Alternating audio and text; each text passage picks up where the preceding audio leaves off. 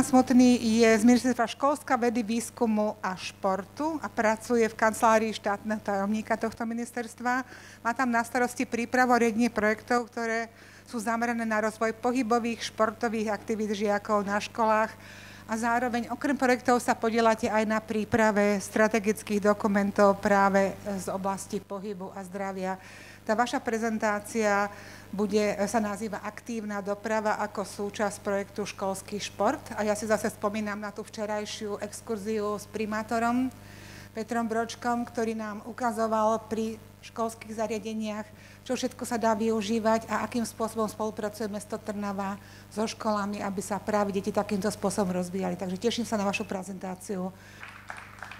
Ja prajem príjemný dobrý deň. Moje meno je Palo Smutný. Ako bolo povedané, som z kancelárie štátneho tajomníka pre šport a to, že som tu si vážim, vzniklo to úplne náhodou. Dali sme sa do reči s, s chalmi z cyklokoalície, kedy sme si vymenili nejaké základné názory a zistili sme, že máme na vec podobný názor.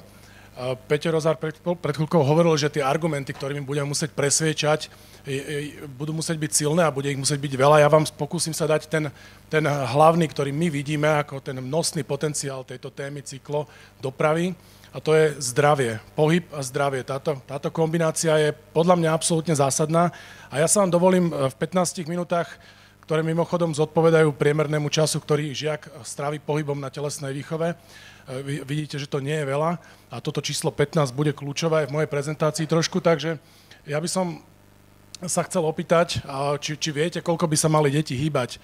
Podľa Medzinárodnej svetovej organizácie je tu nejaká odporúčaná dávka pohybu, ktorá je stanovená na 60 minút to, denne. To znamená, mali by sme sa hýbať aspoň toľko, aby naše telo fungovalo tak, ako má, poviem to veľmi jednoducho tých 60 minút by malo byť stredné alebo vyššej intenzity, mali by tam byť nejaké posilňovacie cvičenia a o tom, aký to má vplyv na naše zdravie, e, nebudem rozoberať, lebo naozaj tá téma je široká, ale môžeme sa zhodnúť, že má významný vplyv na naše zdravie a na zdravie našich detí a na ich vývoj. My sme si robili prieskum e, nedávno cez agentúru Actly, kde sme zistovali, koľko sa naše deti hýbu a zistili sme, že je to v priemere iba 26 minút denne. To znamená, je to, je to podpriemer a v rámci globálneho odporúčania VHO 80% tínedžerov medzi 11 a 18 rokom nesplňa túto, túto hranicu. Veľmi krátko by som chcel len povedať, čo vnímame pod aktívnou školou. Aktívna škola je škola, ktorá vytvára predpoklady preto, aby sa deti mohli hýbať čo najviac v tom školskom prostredí alebo v súvislosti so školským prostredím. To znamená, ako prvá je tu aktívna doprava, aktívne prestávky, školské súťaže, kurzy, krúžky, telesná športová výchova, aktívne školské družiny. Ja, ja sa nebudem venovať tým ostatným, ale ostanem pri tom aktívnom transporte alebo aktívnej doprave, lebo o tom je dneska reč. A ešte si povedzme, kto tvorí aktívnu školu. Veľakrát to tu už zaznelo, že my musíme vplývať na rodičov, musíme vplývať na učiteľov, na riaditeľov škôl. To je ten základný ekosystém, v ktorom sa rodí tá myšlienka, aby dajme tomu, chodili deti do školy na bicykli. Ale sú za to zodpovední aj starostovia, primátori, župani, športové zväzy, organizácie, kluby, ktoré môžu pomôcť. Samotné médiá, ktoré buď dajú alebo nedajú priestor tejto téme. Sú to rôzne inštitúcie, organizácie, až po poslancov, politikov a nejaká medzirezortná spolupráca. Čiže my všetci tvoríme aktívnu školu a každý svojím spôsobom prispievame do tohto systému Môžeme si každý položiť otázku, čo sme preto urobili my, aby to bolo lepšie.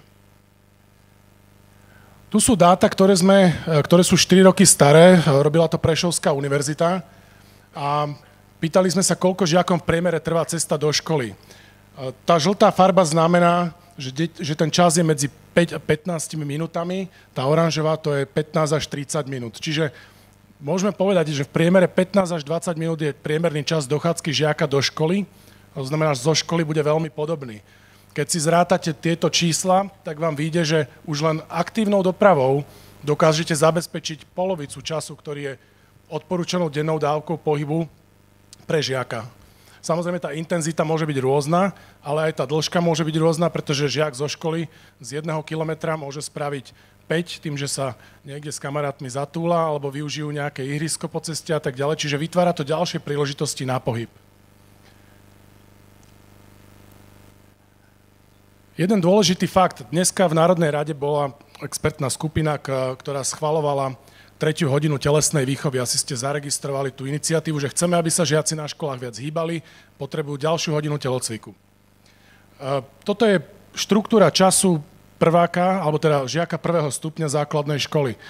Tam vzadu vidíte, že telesná športová výchova predstavuje len 2% z jeho času, ktorý môže denne tráviť pohybom, pričom aktívny transport je viac ako telesná výchova a dokonca, ak zrátame všetky prestávky v škole, tak predstavujú väčší časový priestor na pohyb, ako je samotná telesná výchova. Čiže my vidíme potenciál viac pohybu na školách práve v tých iných aktivitách, ako je telocvik, samozrejme ten je dôležitý, ale poďme naspäť k doprave.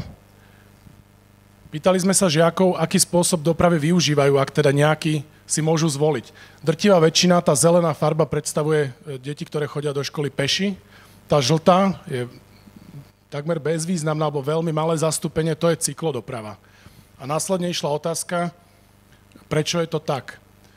A z tých, z tých dôvodov najzaujímavejších vyberám a zazneli tu, že sú to nebezpečné prechody alebo nebezpečné cesty a možnosť bezpečne si uložiť bicykel. Ak si všimnete, vzdialenosť od školy pre žiakov nehrá až takú rolu, pretože my vieme, že deti, keď sú, keď, keď sú v zápale nejaké aktivity, tak pre nich, pre nich tá aktivita nie je až taká unavujúca. Oni, pre, oni to zvládnu a zvládnu aj dlhšiu cestu ako kilometr, dva alebo 5.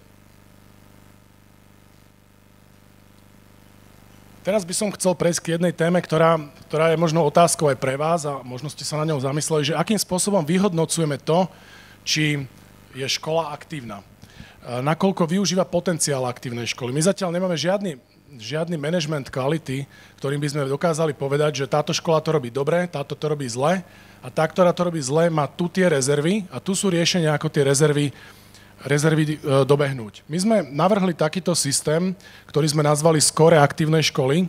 To znamená, jednotlivé časti tej aktívnej školy by mali svoju, svoju hodnotu. V prípade aktívneho transportu by to bolo napríklad 10 veľmi jednoduchých otázok, ktoré tu už zazneli aj z úst cyklokoalície a, a ďalších. To znamená, má škola stojany v dostatočnej miere vybudované, má bezpečné úložisko, má okolie ciest v blízkosti školy prispôsobené tejto doprave, robí kampane, zapája sa, robí osvetu a takto by sme mohli položiť niekoľko otázok. A ak si na ne zodpovie riaditeľ alebo učiteľ na škole, tak zistí, podľa pridelenej bodovej hodnoty, že napríklad využíva ten potenciál iba na 50% a zároveň si bude môcť pozrieť, ako tento potenciál zvýšiť. Samozrejme, musí to chcieť, nikto ho k tomu nemôže donútiť a to je možno vec, ku ktorej budeme musieť dospieť ako spoločnosť, aby sme si uvedomili hodnotu zdravia v prepojení na ten pohyb.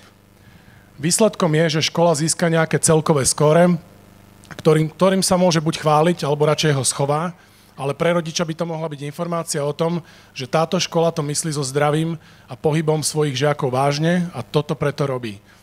Takýmto istým spôsobom by mohli k tomu pristupovať samozprávy, ktoré by mohli vyspriemerovať to skore e, zo svojich škôl a napríklad povedať, že Trnavský kraj má takéto skore, alebo mesto Trnava sa takto dobre stará o svoje školy.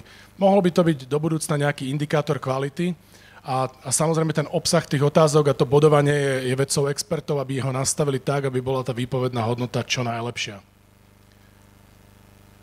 Aby to nebolo úplne celé postavené na vode, my sme túto myšlienku aktívnej školy, ktorá mimochodom vo Fínsku je známa ako Schools on the Move, alebo iné projekty, ktoré sú v Európe zabehnuté a, a fungujú na, týchto, na báze aktívnej školy, je súčasťou koncepcie športu 22-26, to znamená, odvolávame sa na to, že chceme, aby bolo viac škôl aktívnych, aby sa zapájali do projektu a zvyšovali tú dennú dávku pohybu aj týmto spôsobom.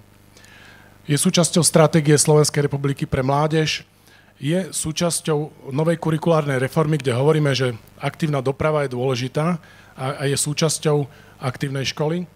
A takisto Národný program rozvoja výchovy a vzdelávania. Všetko sú to odpočtovateľné položky, ktoré na konci obdobia sa budú vyhodnocovať a my v kancelárii štátneho tajomníka máme naozaj záujem na tom, aby sa tieto veci premietli do praxe. Pokiaľ však nebudú zakotvené v dôležitých dokumentoch, tak, tak sa s nimi bude veľmi ťažko pracovať.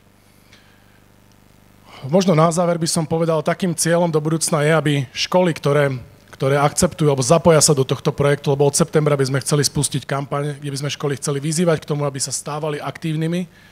Tieto školy by boli označované pri vstupoch podobnou, podobnou značkou. Takisto samozprávy, ktoré to robia dobre, by boli označované touto značkou a spoločným spôsobom by sme vytvorili informačnú kampaň, ktorá by dala najavo, že táto skupina ľudí používajúcu túto značku školský to myslí vážne, že im na zdraví deti záleží a je to možno začiatok nejakej komunikačnej platformy pre, pre všetkých, ktorí chcú pomôcť.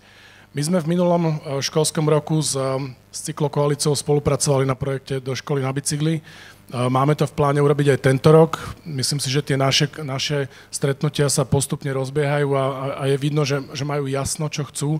Takže pre nás je to partner, s ktorým by sme radi spolupracovali aj do budúcna. Týmto vyzývam všetkých, ktorí vedia k tomuto nejakým spôsobom pomôcť. A chalani z Riparku ma oslovili svojim minutovým videom, kde povedali, v minúte možno ďaleko viac ako ja teraz. Čiže možno aj toto je vymýšľať kampane, ktoré v ľuďoch zarezonujú. A, a do budúcna sa budeme teraz snažiť o to, aby sme aktívnu školu dostali do povedomia širokej verejnosti. Asi tým by som aj dnes skončil. Ďakujem pekne za pozornosť a pekný deň želám.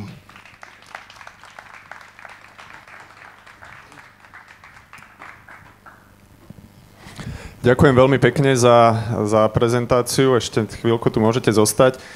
Ja by som povedal, že som mimoriadne rád, že, že vás tu dnes máme a je to taký dobrý signál toho, že opäť e, aj tá, e, tá štátna správa sa nejakým, nejakým spôsobom začala k tejto téme pristupovať, lebo pred niekoľkými rokmi ešte naozaj sme boli v stave, že ministerstvo dopravy sa tej téme cyklodopravy nejak venovalo, lebo muselo a ostatné ministerstva v podstate vôbec. Dneska už sme v stave, že naozaj včera sme mohli možnosť vidieť, že aj to ministerstvo dopravy začína nejak proaktívne pristupovať k tej téme a že aj ostatné ministerstva, napríklad teda ministerstvo školstva, uh, ich možno ešte aj predbieha v niečom.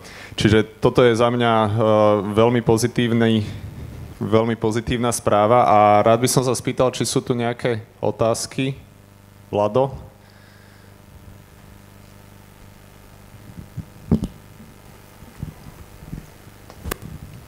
Dobrý deň, ja sa chcem spýtať, že či má kancelária štátneho tajomníka v tejto veci aj nejaké porovnanie so zahraničím, že či sme na tom dobre na Slovensku alebo horšie minimálne s krajinami EÚ, že teda ako, ako, kde je naša pozícia, že či máme čo doháňať alebo naopak môžeme byť vzorom? No, vzorom asi nemôžeme byť a máme čo doháňať. V podstate ste si aj odpovedali, pretože ehm, ako, ako priebežne sledujeme všetky štatistiky z rámci Európskej únie, kde tie podobné projekty, my sme nevymysleli nič nové, ja sa tým nechcem nejako ani chváliť, ani hovoriť, že toto je prevratná myšlienka. Povedzme, že sme pomenovali niečo, čo tu máme, čo je, čo je možno absolútne prirodzené a, a možno ročníky mne podobné sme chodili do školy iba peši, iba na bicykli a nikdy ma rodičia do školy neviezli autom. Možno sa vrácame niekde späť, tak ako v tých biopotravinách, tak znovu hľadáme nejaký ten, ten princíp, ktorý tu kedysi fungoval. A, a podobné projekty sú vo v západnej Európe, v Škandinávii veľmi bežné. Snažíme sa samozrejme inšpirovať, snažíme sa napodobňovať veci, Narážame na to, čo tu zaznelo aj v predošlej prezentácii. Pred niekoľkými rokmi sme nevedeli, do ktorého smeťaka máme hodiť plastovú flašu, teraz vieme už, a už máme tých farieb e, na, na odpad viacej, čiže proste tá, to vzdelanie, vzdelávanie aj učiteľov, riaditeľov, samozpráv, celej spoločnosti je mimoriadne dôležité my sme v tejto veci v rámci Národného športového centra, ktoré je priamo riadená organizácia ministerstva, spustili pomerne uh, intenzívne vzdelávanie. Prizvali sme aj, aj kolegov z cyklokoalície, kde sme urobili taký prvotný nástroj. Chceme k tomu pokračovať, chceme učiteľov vyzývať, aby sa o tom dozvedeli viac. A možno to je teraz taká nejaká apoštolská naša činnosť. Treba chodiť, treba rozprávať, vysvetľovať a možno za 10 rokov budú všetci vedieť, ako, ako majú tieto veci robiť. Takže uh, máme čo robiť, to je odpoveď. Ďakujem. E, ja potvrdzujem, že naozaj pred e, zhruba dvoma týždňami to asi bolo, sa uskutočnil prvý e, takýto webinár zameraný práve na túto tému a ďakujem pekne aj za jeho zorganizovanie ministerstvu. A ak ešte, ešte ak máme nejaké otázky, tak sa hláste. Pokiaľ nie, tak ja vám veľmi pekne poďakujem. Verím, že ešte tu bude nejaký priestor na diskusiu, keď si vás niekto odchytí, kto má s čím pomôcť. Zaznel tu aj taký apel možno na nejakých ľudí z Ružomberka, tak pokojne sa kontaktujte.